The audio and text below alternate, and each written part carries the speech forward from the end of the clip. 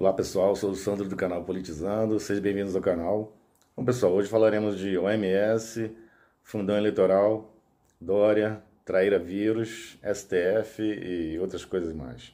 Bom, aproveite agora e inscreva-se no canal, dê aquele joinha para ajudar o canal a crescer, certo? Bom pessoal, o presidente Donald Trump ameaçou cortar as contribuições dos Estados Unidos à OMS em meio à pandemia do Traíra Vírus presidente disse que a organização é tendenciosa à China. Lembrando que os Estados Unidos são os principais financiadores da OMS. Trump disse que vai colocar um freio muito forte nessa situação. Abre aspas para o Trump. Vamos suspender o dinheiro gasto com a OMS. Não estou dizendo que vou fazer isso, mas vamos analisar o fim desse financiamento. É, nós vimos aí no início da, da situação do, do traíra vírus, surgiu na China e a OMS foi a última a admitir que realmente existia uma situação muito complicada. A China omitiu tudo lá, é, é número de mortos, número de contagiosos, é, tentou é, prender e, e, calar quem quis alertar né, o governo chinês. E quando a situação não tinha mais controle, é assim que ela avisou ao restante do mundo. A OMS encobriu isso aí e vem cobrindo até hoje. Então, como eu falei, tanto a ONU, a ONU quanto a OMS são instituições esquerdistas. Tá bom? Depois fala que eu não, avisei. Pessoal, países como Japão, Alemanha, Inglaterra já estão de olho já. E ó, eu, uh, quando terminar a situação dessa pandemia aí e tudo voltar à normalidade, vai ter muito processo, hein? vai ter muito processo e, e o negócio vai ficar meio, meio estranho pro lado da China.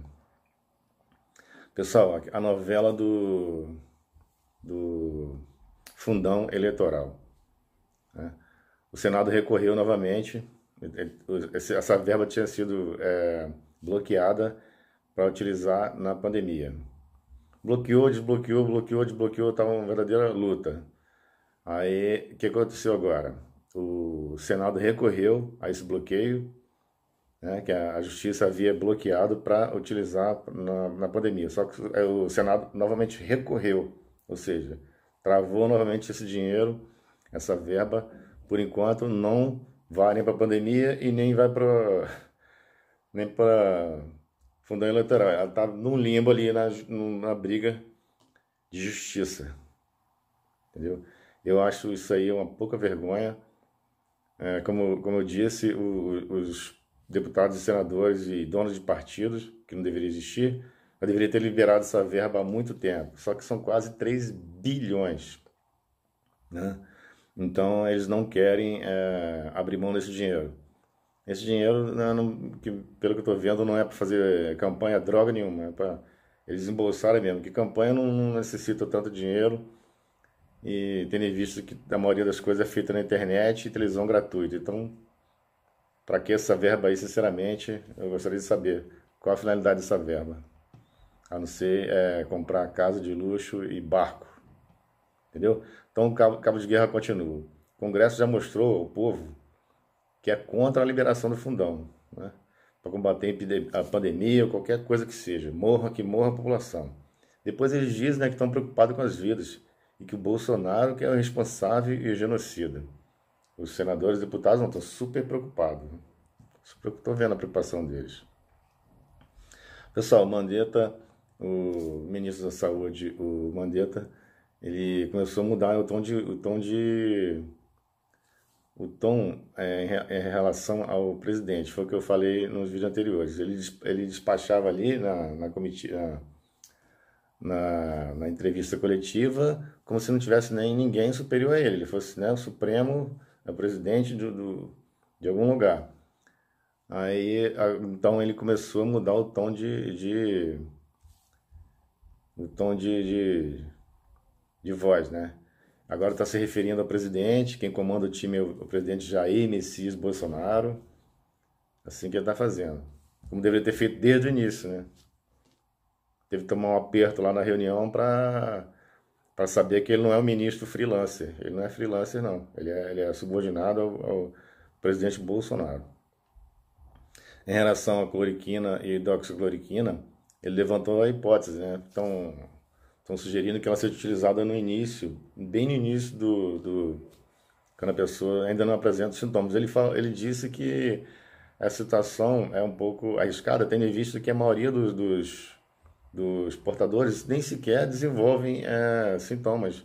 Então seria uma coisa desnecessária e arriscada você aplicar um medicamento que tem os efeitos colaterais muito fortes na pessoa que praticamente está, está saudável. Então, é, analisando por esse ponto de vista, ele não está totalmente errado, né? Mas tem entre, entre saudável e tem adoecendo. Então tem que ser analisado ali várias, analisado ali várias nuances da situação do, do estado do paciente, né? O momento correto. Não é nem precoce e nem tardio. Existe um meio termo ali. Então esses ajustes serão feitos e com certeza teremos aí vários casos de pessoas que irão se curar sem maiores problemas. Pessoal, no meio de tanta desgraça, pessoas morrendo aqui, pessoas morrendo lá, eis que surge novamente o oportunista Doriana, tentando assumir, os, incrível que pareça, os créditos pelo uso da cloriquina contra o coronavírus. Cara, o Bolsonaro vem falando isso aí desde o início do ano. Desde o início do ano que o Bolsonaro fala sobre esses medicamentos. E ela está achando como louco, é, terraplanista, taxista, genocida e etc. Né? Então é muita cara de pau, pessoal. Se, se chover óleo de peroba, o Dora tem que botar a cara para cima assim para pegar um bronze, entendeu? Que isso aí já está abaixo da linha do ridículo.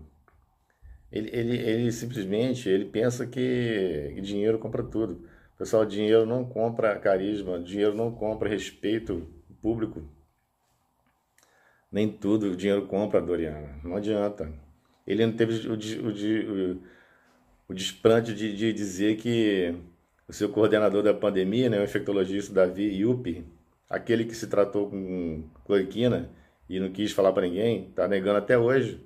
Foi ele que recomendou ao ministro da Saúde né, a liberação desses medicamentos. Olha só o nível de, de, isso aí já virou psicopatia, esquizofrenia, alguma coisa parecida. Acho que esse convívio dele com, com Lula só agravou mais a situação dele. Infelizmente, isso aí é um caso perdido. Dória, menos. E ainda acusou né, esse suposto gabinete do ódio, que, que existe um gabinete do ódio no mundo assim paralelo, na mente desse pessoal de esquerda doente, existe esse gabinete do ódio. Existe a milícia é, de Olavo de Carvalho, entendeu? Que as pessoas são pagas, existem robôs. Nós estamos sendo atacados por robô, pessoal. Ah, fala sério, cara. palhaçada. Então é isso, pessoal. Daqui a pouco o, Dória vai, vai querer tomar o nome do Bolsonaro também. Entendeu? Vai, vai falar que o nome do Bolsonaro é dele. E que o Bolsonaro é quem roubou o nome dele. E que o Bolsonaro foi eleito pelo Dória. E não ao contrário, entendeu? É totalmente é, uma coisa de retardado mental.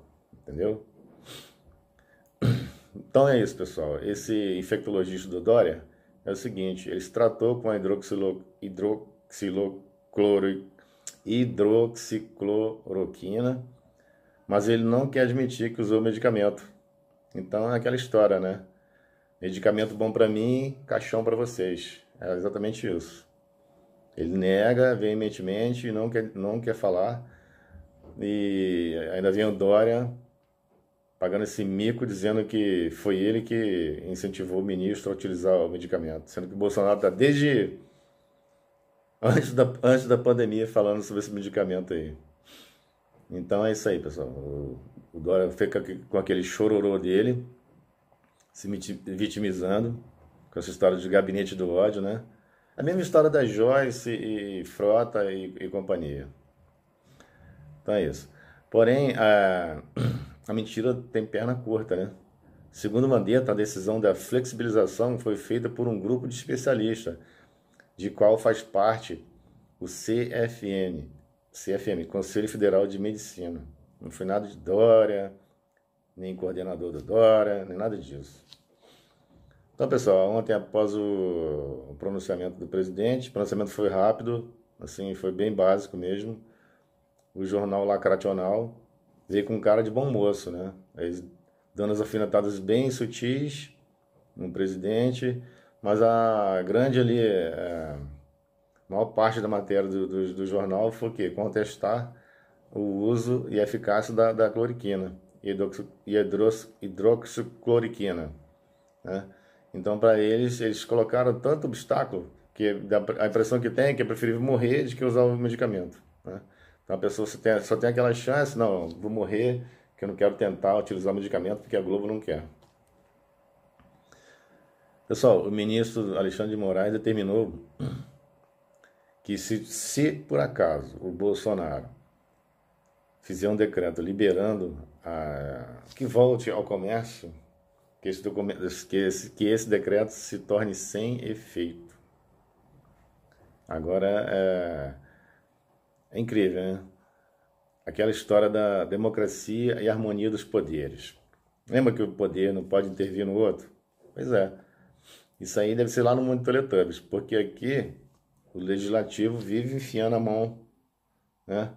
Vive enfiando a mão na, na, na, na pasta do, do, executivo, tentando é, surrupiar verba, tentando fazer isso, fazer aquilo. Vem toda hora o STF também metendo a mão dentro do executivo. Então, que, que, onde é que está aí a, a harmonia dos poderes? Que eu não estou vendo. A harmonia dos poderes só é cobrada quando o Bolsonaro olha, olha para um lado olha para o outro.